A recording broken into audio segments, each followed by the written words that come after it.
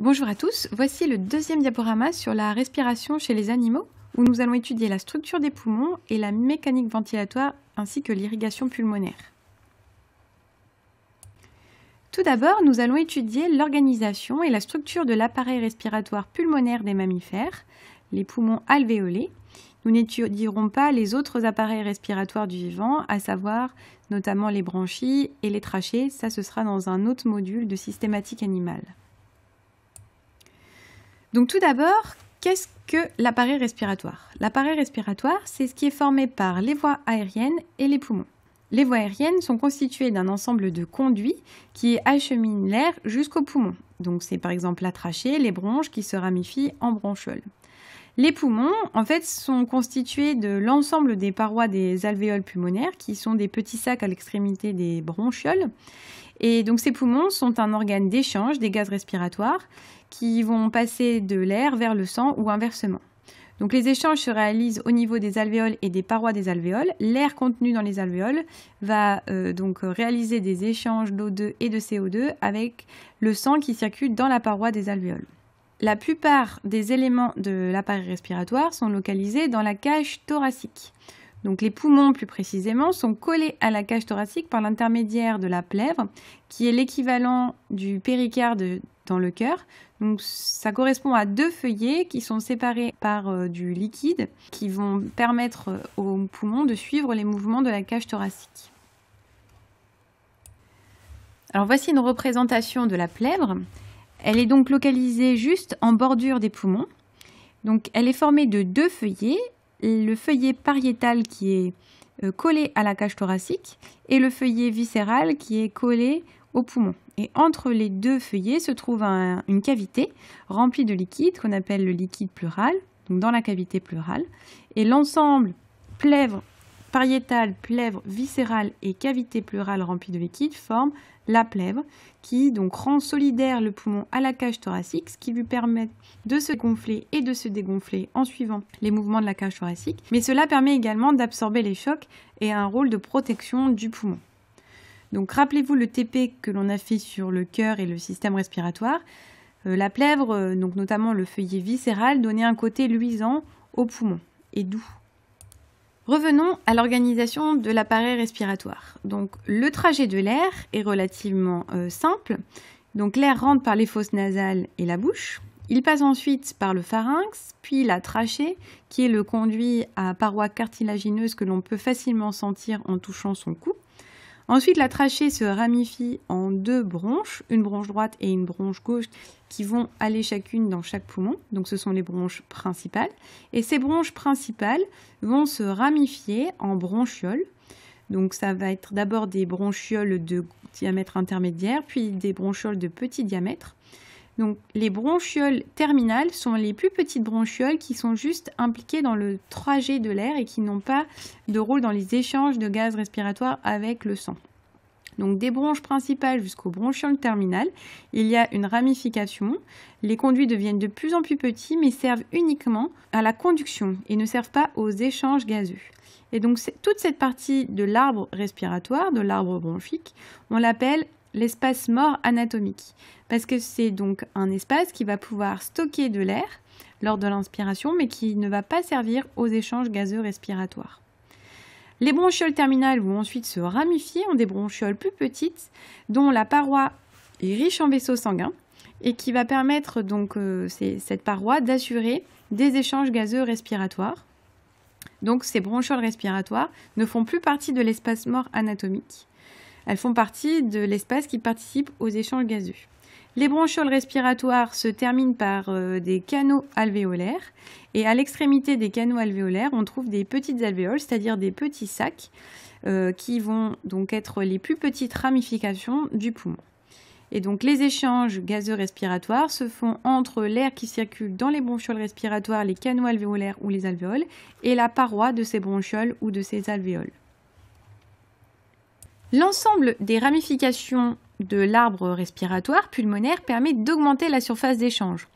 On estime que si l'on prend la surface cumulée de toutes les alvéoles, donc de la paroi des alvéoles, il y a à peu près 100 m2 d'échange dans le poumon chez l'homme, contre 2 m2 de surface de la paroi corporelle. Donc ça, c'est à mettre en lien avec la loi de Fick que nous avons vue en introduction, qui stipulait que le flux de diffusion des gaz respiratoires était d'autant plus important que la surface d'échange était grande. Alors, si on compte à peu près le nombre de ramifications, il y a une trachée qui va former deux bronches et chaque bronche va se ramifier pour former à peu près 60 000 bronchioles terminales. Donc ça, c'est uniquement la portion conductrice. Et puis ensuite, ces bronchioles terminales vont se ramifier pour former des sacs alvéolaires qui seront formés de plusieurs alvéoles. Et on estime que dans un poumon humain, il y a à peu près 8 millions d'alvéoles pulmonaires qui participent aux échanges gazeux respiratoires. Donc nous allons étudier la structure des alvéoles puisque ce sont les structures les plus importantes impliquées dans les échanges gazeux respiratoires. Donc vous avez ici un schéma qui représente deux alvéoles séparées par une paroi qui est formée de tissu conjonctif. Donc les alvéoles sont bordées par un épithélium puisque l'épithélium c'est le tissu qui euh, recouvre des cavités et les alvéoles sont des cavités. Et cet épithélium est formé de deux types de cellules que l'on va appeler les pneumocytes. Cytes pour cellules, pneumo pour la première catégorie de cellules, elle est représentée, ces cellules elles sont représentées de manière aplatie, elles sont pavimenteuses et ce sont les pneumocytes de type 1. Les pneumocytes de type 1 sont majoritaires et ils vont être impliqués dans les échanges gazeux respiratoires puisqu'ils ont une faible épaisseur, ce qui va favoriser la loi de Fick. Donc ce sont toutes les cellules en forme pavimenteuse que vous avez sur le schéma, donc aplaties. Ensuite, les pneumocytes de type 2, ce sont les cellules qui sont beaucoup moins abondantes. Elles ne représentent que 5% de la paroi des alvéoles, donc 5% des cellules. Et donc ce sont des cellules qui vont sécréter un composant qu'on appelle le surfactant, qui est un film riche en lipides. Cela va éviter que les alvéoles ne se collapsent sur elles-mêmes, c'est-à-dire ne s'écrasent sur elles-mêmes du fait de la diminution de la quantité d'air à l'intérieur des alvéoles lors de l'expiration.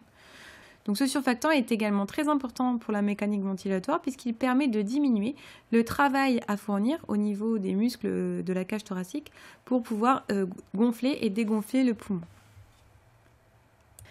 Les alvéoles sont séparées par du tissu conjonctif élastique, ce qui va permettre au poumon de se gonfler et de se dégonfler. Donc c'est un tissu qui est riche en protéines d'élastine, en plus des fibroblastes. Et dans ce tissu donc qui forme la cloison interalvéolaire, circulent les capillaires sanguins. Et donc les échanges gazorespiratoires vont se réaliser entre le sang qui circule dans ces capillaires sanguins et l'air qui est situé dans les alvéoles. Donc la barre petit e représente l'épaisseur de la surface d'échange qui doit être franchie par les gaz respiratoires pour réaliser ces flux diffusifs. Et donc on estime qu'elle est de moins de 1 micromètre dans les alvéoles pulmonaires, ce qui est tout à fait en accord avec la loi de Fick qui stipule qu'il faut que la barrière d'échange soit relativement faible pour que les flux diffusifs soient efficaces. Donc cette cloison interalvéolaire contient non seulement du tissu conjonctif lâche, des capillaires sanguins, mais elle contient également des macrophages qui ont un rôle immunitaire, qui vont permettre également de lutter contre les bactéries, mais aussi contre les polluants. Et donc bien sûr, elle contient des fibroblastes puisque c'est un tissu conjonctif et que les fibroblastes sont les cellules qui élaborent le tissu conjonctif. Et elles contiennent des fibres d'élastine qui sont responsables de l'élasticité du tissu donc la barrière air capillaire, qu'on appelle la barrière alvéolo-capillaire, est très fine, d'environ 0,2 micromètres, donc ce qui la rend adaptée à son rôle d'échange de gaz par diffusion. Alors revenons sur la vascularisation du poumon, puisque le poumon doit être richement vascularisé pour la réalisation des échanges gazeux. Donc les poumons, ils sont alimentés par la circulation pulmonaire. Le sang qui provient du cœur droit est un sang qui est riche en CO2 et pauvre en O2 qui est non hématosé et qui arrive donc au poumon par l'artère pulmonaire. L'artère pulmonaire se ramifie en plusieurs artérioles pulmonaires qui se ramifient elles-mêmes et se divisent pour former un réseau de capillaires pulmonaires qui circulent au niveau des parois alvéolaires, donc près de l'air alvéolaire. Donc ce sont les capillaires que l'on a vus tout à l'heure qui circulent dans le tissu conjonctif élastique. Au niveau de ce capillaire, le sang se charge en dioxygène et s'appauvrit en CO2.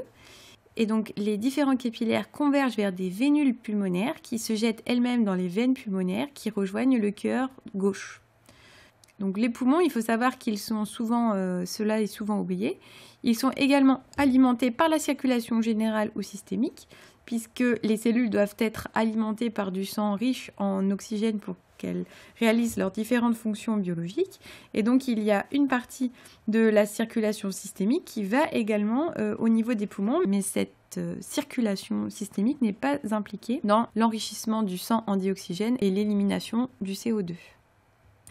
Maintenant, étudions la mécanique ventilatoire, c'est-à-dire les mécanismes de l'expiration et de l'inspiration qui permettent les flux de gaz par convection d'air à l'intérieur de l'arbre respiratoire.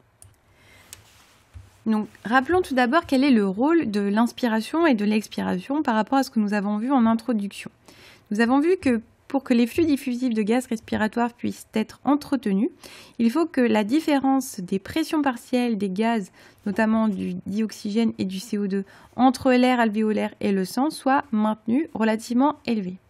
Donc si on laisse les échanges se faire par diffusion, à terme l'équilibre est atteint et donc les pressions partielles en O2 et euh, en CO2 à l'intérieur de l'air et à l'intérieur du sang serait identique si l'équilibre est atteint.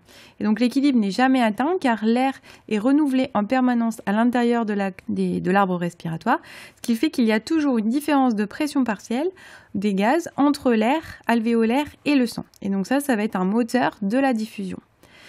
Donc on peut visualiser les mouvements d'inspiration et d'expiration par des explorations en en spirographie, qui sont des méthodes de, médecine hein, qui permettent de mesurer le volume d'air qui est inspiré et qui est expiré lors de mouvements normaux, donc de repos, on appelle cela le volume courant, mais également les volumes qui peuvent être inspirés lors d'une inspiration maximale ou qui peuvent être expirés lors d'une expiration maximale on, peut enregistrer donc les cycles répétés d'inspiration et d'expiration. C'est une ventilation qui est dite tidale puisque L'inspiration et l'expiration se font dans les mêmes conduits, donc l'air circule dans les deux sens dans l'arbre respiratoire.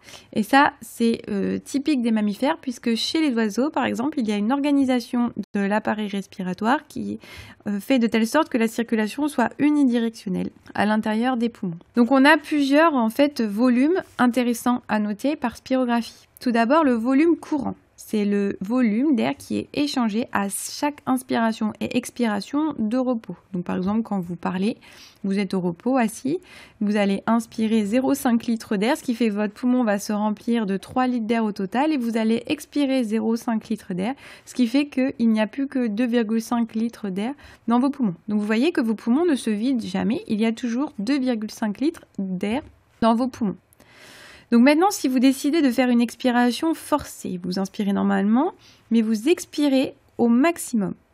Vous allez donc vider votre volume de réserve expiratoire, qui est d'à peu près 1,5 litre. Et il ne restera du coup dans vos poumons que 1 litre, ce qu'on appelle le volume résiduel. Donc même quand vous décidez de faire une expiration forcée, vous ne videz jamais complètement vos poumons. Et on distingue également le volume de réserve inspiratoire, c'est le volume d'air maximal que l'on peut inspirer lors d'une inspiration forcée. Et vous voyez que si vous décidez de gonfler vos poumons au maximum, d'inspirer au maximum, vous pouvez remplir jusqu'à 6 litres d'air dans vos poumons. Donc on estime qu'on a à peu près une réserve de 3 litres euh, d'inspiration d'air. Donc ça, c'est les volumes les plus importants à retenir. Le volume courant, le volume de réserve expiratoire, le volume résiduel et le volume de réserve inspiratoire. Alors, les différentes phases sont l'inspiration et l'expiration. Donc, l'inspiration, c'est la phase active de la respiration, des mouvements respiratoires. Active, ça veut dire qu'elle repose sur la contraction musculaire. Et il y a deux muscles qui sont impliqués. Ce sont le diaphragme et les muscles intercostaux externes. Lorsqu'ils vont se contracter, le diaphragme en fait va s'abaisser, les côtes vont s'ouvrir, ce qui va permettre d'augmenter le volume de la cage thoracique. Et comme on, est, on considère qu'on est un peu avec euh, la loi des gaz parfaits, que vous verrez peut-être en chimie, en tout cas cette augmentation de volume va créer une dépression. C'est-à-dire que la pression totale qui règne à l'intérieur des alvéoles va devenir plus faible que la pression de l'air dans l'atmosphère dans le milieu extérieur de l'organisme. Et donc l'air, naturellement, s'écoule des zones de haute pression vers les zones de basse pression. C'est ce qui est responsable du vent euh, euh, en circulation atmosphérique. Et donc l'air va s'écouler dans l'arbre respiratoire jusqu'aux alvéoles, puisque la pression à l'intérieur des alvéoles, donc la pression totale, hein, là je ne raisonne pas en termes de pression partielle, la pression totale de l'ensemble des gaz respiratoires ou non respiratoires qui sont localisés dans les alvéoles est plus faible que la pression atmosphérique. Donc cet écoulement, c'est un écoulement par convection. Les mouvements d'expiration sont également des mouvements de convection d'air, sauf que ce sont des mouvements qui sont passifs, puisque l'expiration, lorsqu'elle est non forcée, hein, repose sur la relaxation, la, la décontraction des muscles du diaphragme et des muscles intercostaux. Lorsque le muscle du diaphragme se relâche, le, diaphragme remonte, ce qui va diminuer en fait euh, le volume de la cage thoracique. Et ce volume diminue également par la relaxation des muscles intercostaux, puisque ceci va rapprocher les côtes l'une de l'autre. Donc comme la cage thoracique diminue de volume, ceci va créer une surpression à l'intérieur de la cage thoracique et la pression totale de l'air à l'intérieur de la cage thoracique va être supérieure à celle de l'air dans le milieu atmosphérique extérieur. Et donc l'air va s'écouler naturellement dans l'autre sens, donc euh, de l'intérieur des alvéoles vers le milieu extérieur, du fait de cette différence de pression totale, j'insiste bien toujours sur le fait que ce soit la pression totale qui existe entre l'alvéole et le milieu extérieur. Par contre, l'expiration forcée est active. On peut notamment voir euh, des personnes qui font de l'apnée euh, travailler en fait sur leur expiration euh, pour augmenter l'efficacité des échanges respiratoires, pour renouveler au maximum l'air à l'intérieur des poumons, afin d'augmenter le taux d'oxygène qui peut être stocké dans les poumons. Donc l'expiration active, elle est forcée, elle repose sur la contraction d'autres muscles intercostaux, les muscles intercostaux internes, euh, qui sont localisés un peu plus en profondeur, mais également les muscles abdominaux. Donc ça, c'est euh, uniquement lorsque vous faites une expiration forcée, c'est-à-dire quand vous allez jouer sur le volume de réserve expiratoire. Donc ce qui est important de noter, surtout avec les chiffres de la spirographie, c'est que seul 15% de l'air des alvéoles est renouvelé à chaque cycle. Donc le volume renouvelé c'est le volume courant, c'est à peu près 0,5 litres. Vous inspirez et expirez à chaque fois 0,5 litres. Mais ce volume courant va se mélanger avec l'air résiduel qui reste dans vos poumons, qui est formé donc du volume résiduel d'un litre et du volume de réserve expiratoire de 1,5 litre environ. Donc ce qui fait que la pression partielle en O2 est plus basse dans l'air alvéolaire que dans l'air inspiré. Donc je m'explique. Si vous reprenez le diagramme que l'on a vu tout à l'heure de spirographie, vous voyez que donc à chaque inspiration et expiration de base, donc de repos, vous allez expirer 0,5 litres d'air, donc qui est de, de l'air propre. Alors c'est vraiment en simplifiant, c'est-à-dire de l'air qui est riche en oxygène, donc avec euh, la même quantité d'oxygène que dans l'air atmosphérique. Par contre, il reste à chaque expiration 2,5 litres d'air qui ont donc servi aux échanges gazeux respiratoires avec le sang qui arrive dans les poumons, qui est un sang qui est riche en CO2. Donc l'air qui stagne, donc l'air résiduel qui stagne à l'intérieur des poumons, est un sang qui est plus riche en CO2 que l'air atmosphérique et qui s'est appauvri en dioxygène puisqu'il y a déjà une partie du dioxygène qui est partie dans le sang et qui a servi aux échanges gazeux respiratoires au niveau des poumons. Donc si on regarde sur le graphe les pressions partielles, qui règne dans l'air inspiré, on a à peu près 21,3 kPa euh, au niveau de la pression partielle en O2 dans l'air inspiré. Mais par contre, dans les poumons, cette pression partielle s'abaisse à 13,9 kPa puisqu'il y a un mélange entre de l'air inspiré et l'air résiduel qui s'est appauvri déjà en dioxygène du fait des échanges gazeux respiratoires avec le sang. Et inversement, la pression partielle en CO2 de l'air inspiré est relativement faible, 0,04 kPa, alors qu'elle est de 5,3 kPa dans l'air qui circule dans les alvéoles pulmonaires, puisque euh, du CO2 est déjà passé du sang vers l'air résiduel qui reste accumulé à l'intérieur des poumons lors d'une expiration normale. Pour terminer ce diaporama, revenons rapidement sur les flux de gaz au niveau des poumons et des tissus par diffusion, puisque je vous ai dit que les barrières d'échange étaient traversées par diffusion par la gaz respiratoire et que le moteur de cette diffusion était la différence de pression partielle des gaz entre les deux milieux. Rappelons que l'expiration et l'inspiration sont des mouvements de convection de l'air qui permettent de renouveler les gaz respiratoires et d'entretenir donc la différence de pression partielle du dioxygène et du CO2 au niveau de la surface d'échange entre l'air et le sang. Et donc au niveau de cette surface d'échange, les flux de gaz se réalisent non pas par convection mais par diffusion dans le sens des pressions partielles décroissantes. Donc si l'on regarde au niveau des poumons, la pression partielle en dioxygène qui règne dans l'air alvéolaire, qui est de 13,9 kPa, est plus importante que la pression partielle de dioxygène qui règne dans le sang entrant dans les capillaires alvéolaires, qui est d'environ 5,3 kPa. Donc naturellement, les vaisseaux se chargent en dioxygène.